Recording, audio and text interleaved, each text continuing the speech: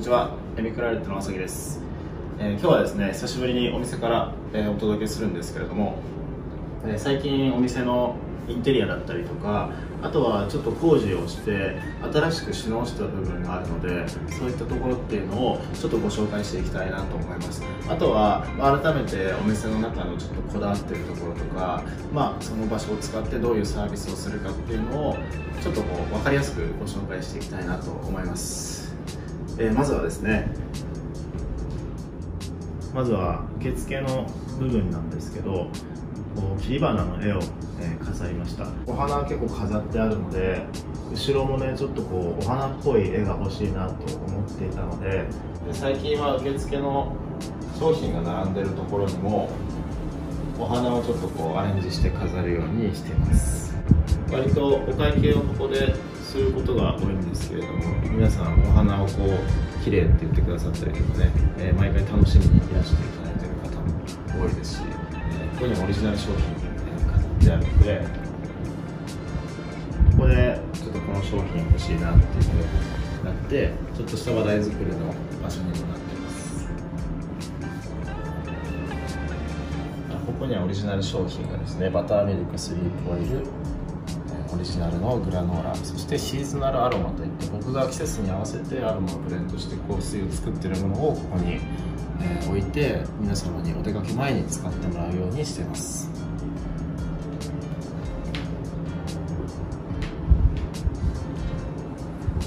続いてですね横長のこう家具を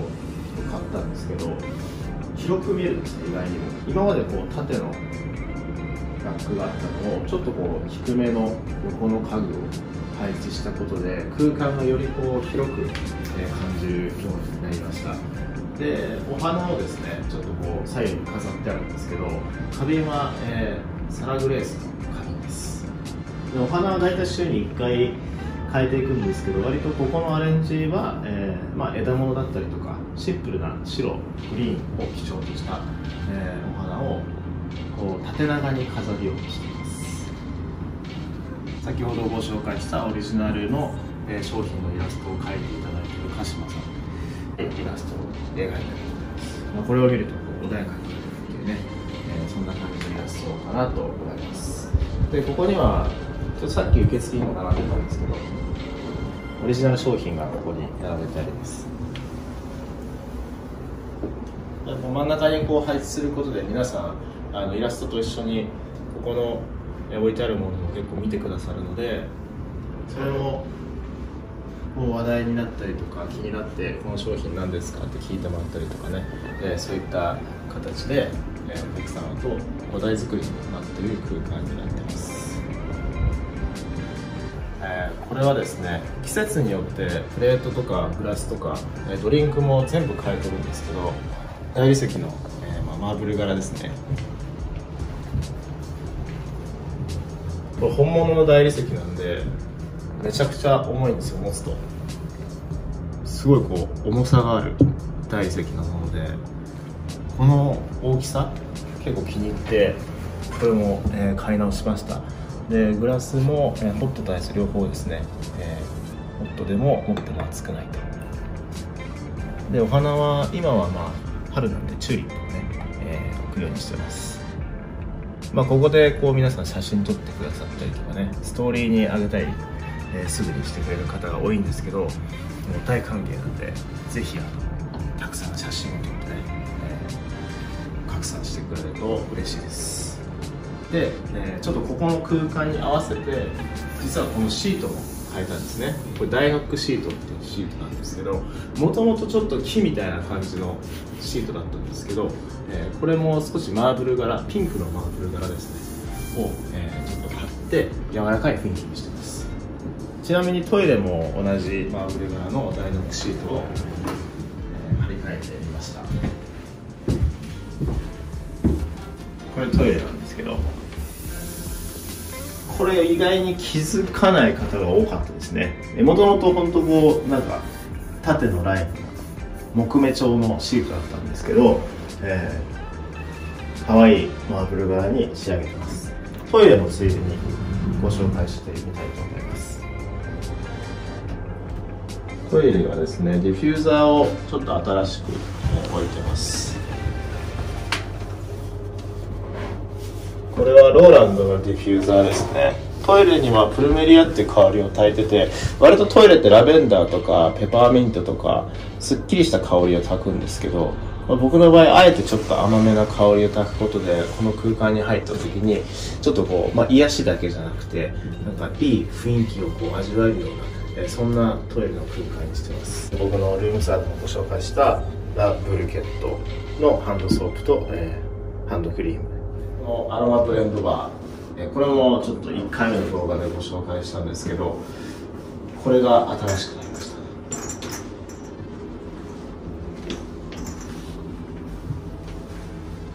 これ何かっていうとですね、えー、香水作ったりとかお客様に香りを選んでいただくときにここにマークが載ってますね。PA これプルメリアっていうマークなんですけどこういうのを実際にお客様に嗅いでもらうときにつけてで匂いを試していただくと。このための、えー、場所なんですね。ちょっとこう今までこの目と刺す場所がなかったのでちょっとおしゃれな、えー、インテリアを見つけたので新しくちょっとこう変えてみました。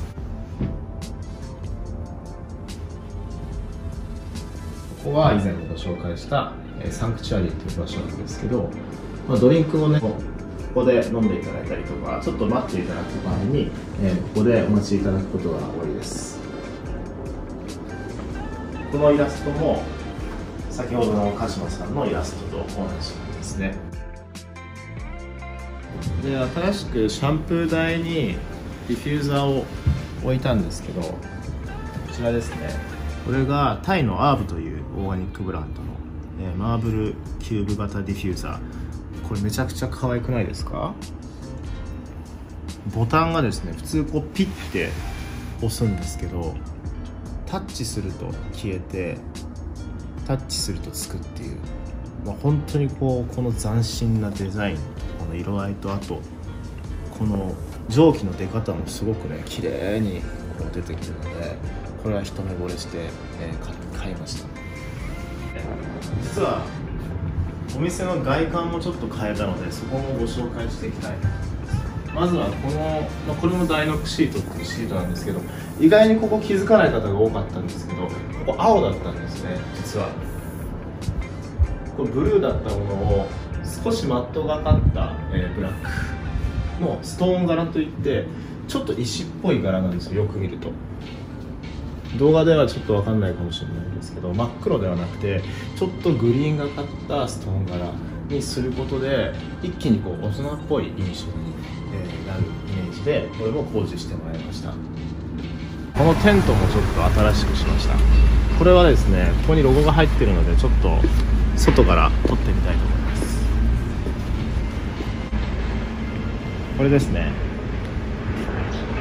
ここにね、えー、ロゴを入れて今までこのロゴはなかったんですけどちょっとこうブラウン柄の、え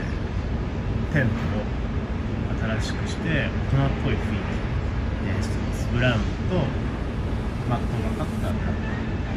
今までどっちかっていうとちょっとこう可愛い感じだったものが、えー、大人っぽい